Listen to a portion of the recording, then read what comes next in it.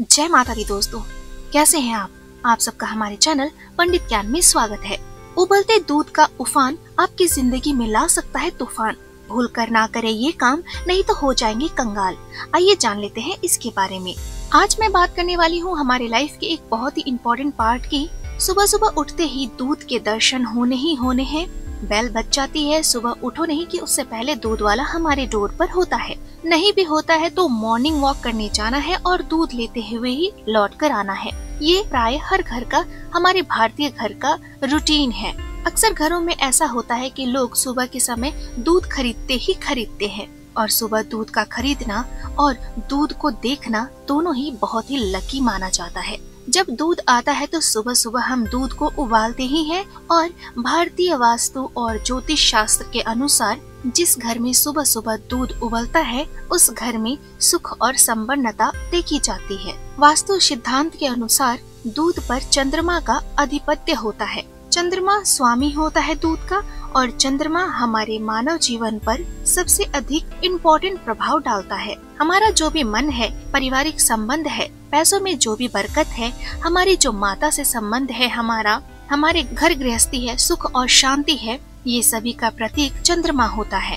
अगर हमारे जीवन में चंद्रमा में विकार आ जाए या चंद्रमा बिगड़ जाए तो मानव जीवन में अशांति, मनोविकार, पारिवारिक कलेश माँ बेटे के बीच में मन मुटाव माता को कष्ट, प्रॉपर्टी में हानि, मानसिक असंतुलन देखा जाने लगता है। भारतीय वास्तु शास्त्र के अनुसार, अग्नि पर मंगल का आधिपत्य होता है। मंगल स्वामी होता है अग्नि का और सभी भारतीय घरों में सुबह शाम जब दूध उबलता है, जो कि सदियों पुरानी परंपरा है, हम क्या करते हैं, उस समय जब दूध उबालते हैं तो चंद्रमा को मंगल के हवाले कर देते हैं। इसी क्रिया से लक्ष्मी नारायण योग की उत्पत्ति होती है। ये मिलन चंद्रमा और मंगल के बीच होता है। परंतु जब कोई भी ऐसा काम होता है आपके घर में, चाहे वो गलती से ही क्यों ना हो, जैसे कि दूध में उफान आना, भूलवश दूध धरती पर गिर जाना तो उससे चंद्रमा के मलिन होने का यानी गंदा होने का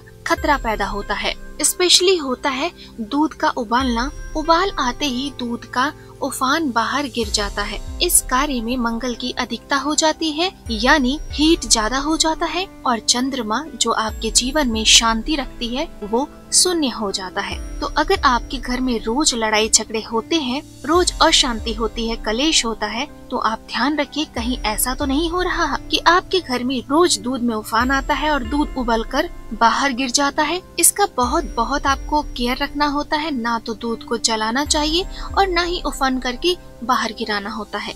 इससे रिश्तों में उथल फुथल होती है। मंगल के अधिकता होने से व्यक्ति के पारिवारिक जीवन नष्ट हो जाता है। रिश्तेदारों से मतभेद होने लगते हैं। पैसों का बात बात पर खर्च आता है। घर के लोग बीमार रहने लगते हैं और घरेलू जीवन में भी ऐसा माना जाता है। संधि विच्छेद हो जाता है। बहुत ही दूध का बिखर जाना बहुत बड़ा अपशगुन माना जाता है हमारे जीवन में। और अक्सर ऐसा काम होने लगता है तो माना जाता है कि जीवन में कंगाली का बास हो जाता है। अगर आपको भी खाना खाने के बाद अगर जूठे बर्तन छोड़ने की आदत है, दूध उबाल देने की आदत है तो ये आदत आपको सुधारनी होगी। क्योंकि ये आदतें आपको आर्थिक तंगी जैसी परेशानियाँ दे सकती है, इसलिए इनको बदल देने में बहुत ही फ़ायदा होता है। अक्सर कई लोग क्या करते हैं कि रात में खाना खाते हैं और जूठे बर्तन सुबह साफ़ करने के लिए रसोई में छोड़ देते हैं। ऐसा करने से घर में धन की समस्या आती है। अगर आप रात में बर्तन साफ़ नहीं कर सकते हैं और सुबह मेड आती है आपकी तो आप कम से कम उसमें जो जूठन आपने छोड़ा है, वो किसी डस्टबिन में या पॉलोथीन में भर कर रख दें। और फिर उसको कम से कम थोड़ा सा पानी डालकर छोड़े। इसको सिर्फ़ पानी से भी धोकर आप रख सकते हैं। आप इतना सा भी उपाय करेंगे तो आप देखेंगे कि आपकी रसोई में कितनी बरकत आती है। आर्थिक तंगी आपके घर से दूर हो जाएगी। अगर आपको लगता है कर्ज है, बहुत ज़्यादा आपके ऊपर कर्ज आ गए हैं तो आप रात में कर्ज से मुक्ति पाने के लिए एक बाल्टी पानी अपनी रसोई में भर कर रख दे। वहीं अगर आप बाथरूम में भी बाल्टी में पानी भर के रखेंगे तो इससे आपके जीवन में सफलता के रास्ते खुल जाएँगे अगर आप किचन में पानी नहीं रख सकते हैं बाल्टी भर के तो कम से कम एक छोटे से तांबे के लोटे में या नॉर्मल किसी बर्तन में, जो किचन का नॉर्थ ईस्ट कॉर्नर है, वहाँ पर आप एक बर्तन में पानी ज़रूर रखें। अगर आपको घर में बरकत चाहिए तो शाम के बाद, यानी सूर्य अस्त्र के बाद अगर कोई अड़ोस पड़ोस से आपसे चीज़ें मांगने आते हैं तो भूल से भी नहीं देना चाहिए। एटलीस्ट आपको दूध, दही और प्याज तो बिल्कुल भी नहीं देना है। और हालाँकि रसोई से रिलेटेड ये चीज़ नहीं है, लेकिन फिर भी सुई आदि भी आपको नहीं देना चाहिए। शाम के समय, शाम के बाद सुई, कैंची आदि भी किसी को ना दे अड़ोसी पड़ोसी को। और एक मिस्टेक जो आजकल के जमाने में हर कोई करते हैं, मैं समझ सकती हूँ कि घर छोटे छोटे होते हैं। मे भी कुछ लोगों के घर ऐसे होंगे जिसमें एक ही रूम में ड्राइंग रूम डाइनिंग रूम और बेडरूम होगा। वन बेडरूम होगा उनका फ्लैट तो भी आपको घर में बेड के ऊपर बैठ करके बिल्कुल भी खाना नहीं खाना है। गलती से भी आपने पलंग पर बैठकर खाना ना खाएँ, ऐसे में कंगाली का बास होता है। घर से लक्ष्मी माता नाराज़ होकर चली जाती हैं। धन की हानि तो होती ही है, लेकिन घर में अशांति का माहौल हो जाता है और परिवार के सदस्यों पर धीरे धीरे कर्जा बढ़ने लगता है। ऐसी बातें हमारे जीवन में दुर्भाग्य का संकेत लेकर के आती है। धन की हानि तो होती ही है, लेकिन घर में अशांति का माहौल हो जाता है और परिवार के सदस्यों पर धीरे धीरे कर्जा बढ़ने लगता है। ऐसी बातें हमारे जीवन में दुर्भाग्य का संकेत लेकर के आती है। इसके साथ ही ध्यान रखे कूड़ेदान को कभी भी घर के मुख्य दरवाजे पर नहीं रखना चाहिए। ऐसा करने से आपके पड़ोसियों से तो आपकी अनबन होगी, लड़ाई झगड़े होंगे, घर के मुख्य द्वार पर गंदगी होने के चांसेस होते हैं और जिसकी वजह से माँ लक्ष्मी आपके घर पर नहीं आती है। वैसे तो आपको पता ही होगा कि माता लक्ष्मी धरती पर विचरण करती रहती हैं और जिसका घर अगर आप घर के अंदर, जैसा मैं कहती हूँ साफ़ सफ़ाई रखे तो आपके घर माता लक्ष्मी आएँगी। तो मुख्य दरवाजे पे अगर गंदगी करके रखेंगे तो किस प्रकार माता लक्ष्मी आपके घर में प्रवेश करेंगी?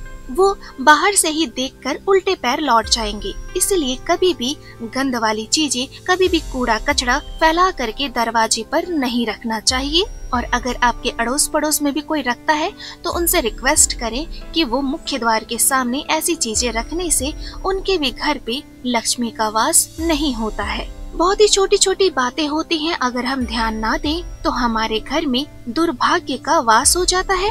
हम सौ तरीके के पूजा पाठ उपाय करते रहते हैं, सोचते रहते हैं, बोलते रहते हैं कि हमारा ये काम नहीं होता, ये काम होता है। हमने बहुत सारे उपाय किए फिर भी हमें इसका हल नहीं मिला है।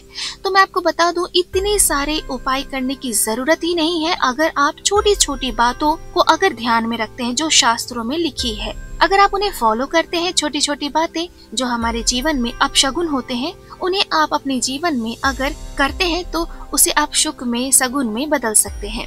दूध का उबलना, उबलते दूध का उफान गिर जाना सब हमारे जीवन में चिड़चिड़ापन लाता है। हमारे घर में निरंतर चिंता आती है और छोटी छोटी बात पर परिवार के सदस्यों में आपसे एक दूसरे से मतभेद हो जाता है। परिवार के सदस्य को किसी न किसी बीमारी का शिकार रहना पड़ता है। इसीलिए वास्तु के अनुसार ध्यान रखें, कभी भी दूध उबल कर उफान आकर के बाहर नहीं निकलना चाहिए, इससे आपको नुकसान होगा। अगर गलती से कभी हो भी जाए तो उसे तुरंत साफ़ कर दे, धो दे पानी बहा करके और चंद्रमा अपना बलिष्ठ कर ले। अगर ये कार्य करेंगे तो चंद्रमा आपका बलिष्ठ रहेगा और घर में कलेश नहीं होगा और आपको हमेशा सुख और शांति की अनुभव होगी। तो दोस्तों, ये थी हमारी आज की वीडियो। उम्मीद करती हूँ दोस्तों कि आपको हमारी ये वीडियो पसंद आई होगी।